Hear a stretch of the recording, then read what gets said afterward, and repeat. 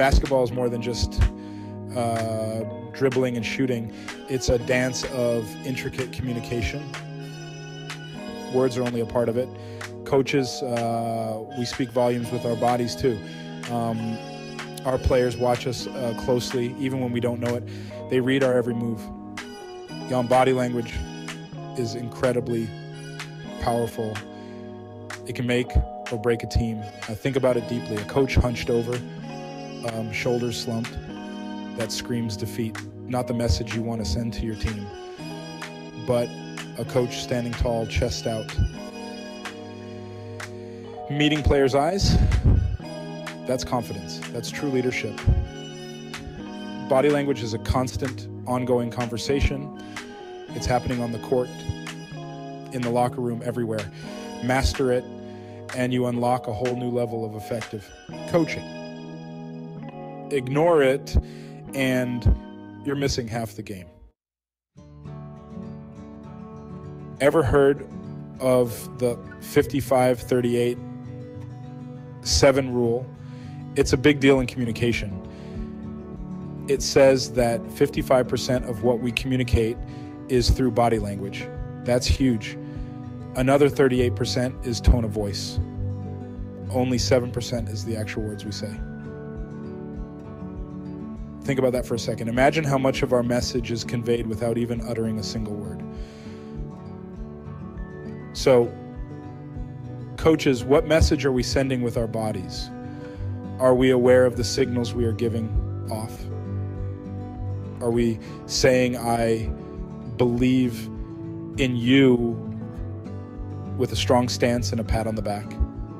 These small gestures can make a big difference. Or are we saying, I'm not sure about this with uh, crossed arms and a frown? Our body language can sometimes contradict our words. Our players pick up on these cues, how they feel them. They react to them. They are constantly reading our body language, even when we are not speaking. We need to be aware of our body language and use it to our advantage. By being conscious of our gestures, facial expressions, and posture, we can reinforce our verbal messages. A smile can convey encouragement, a nod can show understanding, and a thumbs up can boost confidence. When we align our body language with our words, we become more effective communicators. Our players will trust us more and be more motivated to follow our guidance. So, next time you're on the court, remember the 55 38 7 rule Use your body language to inspire, motivate, and lead your team to success. Because in the end, it's not just about what we say, but how we say it that truly makes an impact. Let's be mindful of our body language and use it to create a, a positive and empowering environment for our players. After all, effective communication is the key to building strong, successful teams. trust is the um, the foundation of any team. Without it, you've got nothing. And guess what? Body language is key to building that trust. When we're open and approachable, uh, players feel comfortable coming to us. Uh, they know they can talk to us. Um, think about how you stand when um, a player approaches you. Are you closed off, arms crossed, looking away? Or are you facing them, making eye contact, showing them you're listening? And it's the little things that matter, like a nod here, a smile there. Um, these small gestures build connection. They show your players you're present, you care, and you're in their corner. Section four, the eyes have it. Key techniques for uh, coaches. Let's talk about some specific techniques. First up, eye contact. It's powerful stuff. Um, eye contact is one of the most fundamental ways to connect with your players. It shows them that you are uh, present in the, the moment and that you value what they have to say. This simple act can build trust and rapport, um, which are essential for effective coaching. When you look someone in the eye, you show them respect. It's a nonverbal way of saying, I see you and I'm here with you. This can be especially important during high pressure situations where players need reassurance and confidence. You show them you're listening.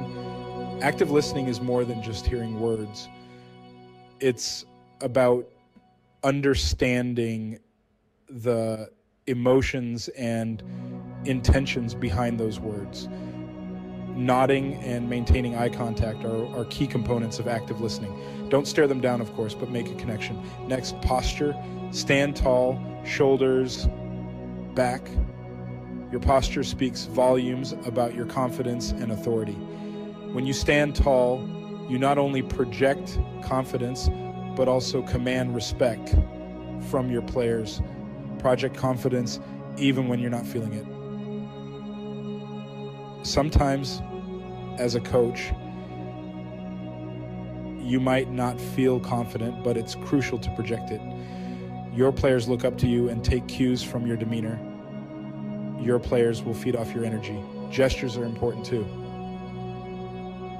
A thumbs up, um, a simple uh, gesture like a thumbs up can boost a player's morale. It's a quick and effective way to show approval and encouragement um, a pat on the back, even a firm handshake. These gestures might seem small, uh, but uh, they were they have a, a big impact. Uh, they convey support, trust, and camaraderie. Uh, these small actions speak volumes. Uh, they can uplift a player's spirit and motivate them to perform better. Never underestimate the power of positive reinforcement. They show encouragement, support, and belief. Um, and finally, active listening. Active listening is a critical skill for any coach. It involves fully concentrating, understanding, responding, and then remembering what he what is being said. This means really uh, paying attention when someone is talking. Put your phone down, make eye contact, uh, nod your head. These actions show that you are fully engaged in the conversation and that you value um, the speaker's input. Show them you're engaged in the conversation. By doing so, you build a stronger connection with your players, um, making them feel heard and understood. This, in turn, fosters a positive and productive coaching environment. Section 5 Beyond Words Mirroring and Team Chemistry. Ever notice how teams that click seem to move as one? It's almost like they have an unspoken understanding, a rhythm that binds them together. Part of that is body language, specifically mirroring. Mirroring is a subtle yet powerful tool that can enhance team chemistry.